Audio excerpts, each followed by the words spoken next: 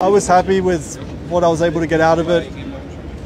I missed 10 milliseconds, so still not good enough. But um, but yeah, happy with the progress. You know, yesterday out in Q1, today out in Q2, but genuinely fighting there in, in Q for a Q3 spot. So try to uh, finish off in the points tomorrow. Won't, won't be easy, but I I have uh, a lot more confidence after that session. Qualifying uh, P7, uh, actually P6 at the end.